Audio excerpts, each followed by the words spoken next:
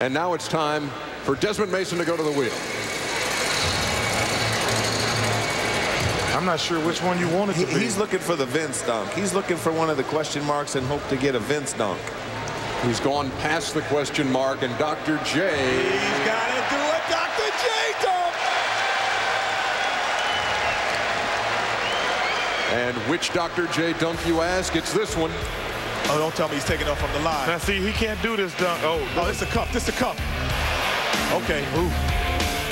yeah, he can do that one. That's a lot. Obviously great dunkers off of one or two legs, but Desmond Mason and Jason Richardson are better jumpers off of two feet.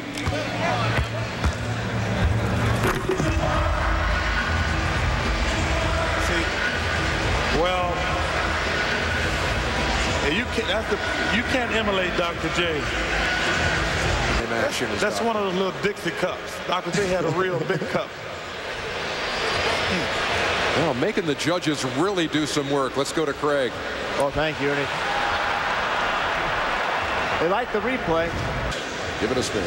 And, and Jason's hoping to get in the human highlight film reel because, again, he's a two-footed jumper. And uh, now, I, I, he, can, he can jump one foot, two feet. He can jump off his fingertips if he needs. Oh, and he's going to get it. Dominique, Oh, look it's at him. He's happy. Oh, it's going to the 90s. Oh, no, oh, here comes back.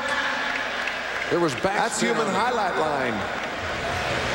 It is human highlight film. Human highlight.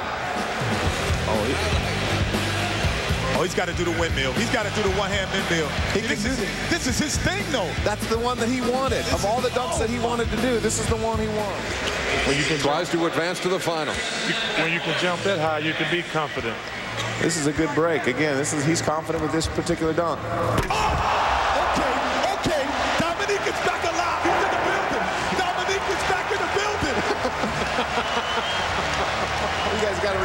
about three or four inches shorter than Dominique. I believe we've just seen a finalist. And so now here is Gerald Wallace going to the wheel. Anything over 47, he wins the competition.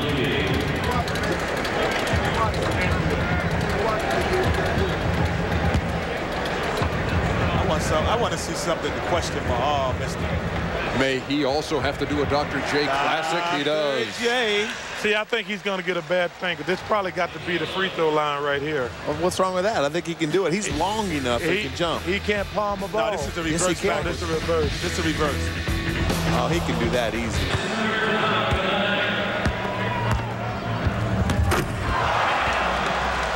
I'm impressed. That was good. he, doesn't, he doesn't quite have the same grip of the ball. Nobody can duplicate Dr. J except Connie Hawkins, maybe, but And Michael. that, that was awesome right there. Dr. Duncan, what's his name over there? Darryl Dawkins. Darryl Dawkins. They both gave him sevens. Well, Go ahead, Who's Stevie. copying who? Hey, hey, Ernie.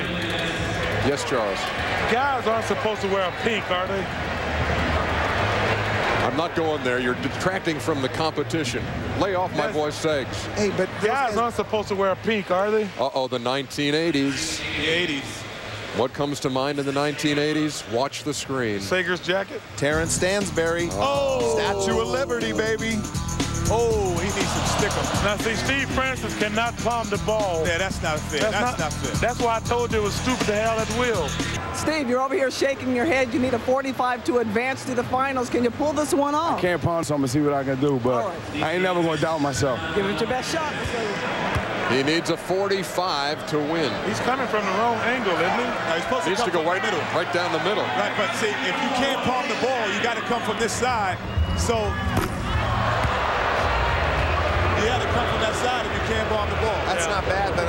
that's not better than Gerald Hey, that Wallace. push it. And not really close to what we saw from Stansbury on the on the Statue Yeah, but of that, Liberty. that, that push you at a disadvantage. You don't have big hands. Certainly.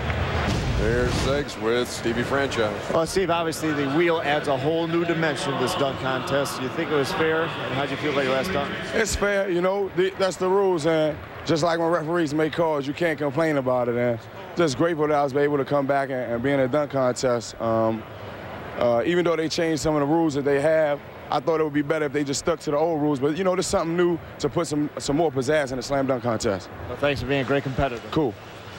And in this one, Dr. J spins the wheel, and both dunkers have to do the same dunk. And this spin is huge because I think the one-legged jump and the long, you know, the foul line type of stuff favors Wallace and the two-legged dunks favor Richardson. Wouldn't you know it? The, the wheel is not rigged. Here's another Dr. J. I, am gonna have to disagree. I, just, I think the wheel what might be rigged. I think it's rigged too. It's heavy, but I'll tell you what, Wallace, I think because of his length. Free throw line. The you gotta jump from Hey. the free throw line. Neither one of these guys can do this dunk right here. No, no, no. I think Jason Richardson can do this. So it's still. This is this this is gonna be interesting for him. See, he's more comfortable off of one leg. He made it. Now Richardson has to do the exact same dunk and the same judges and everything. So you know, there's not anything you're judging the exact same thing. He got the. Oh, See that? That I, I think that's the point me and Ainge were trying to make. He is not comfortable jumping off one leg. That's my point. Hey, he's gotta That's make- my point. He is not comfortable jumping off of one leg. He's got to make, Even he's when- got to even make sure this one goes in in his replacement.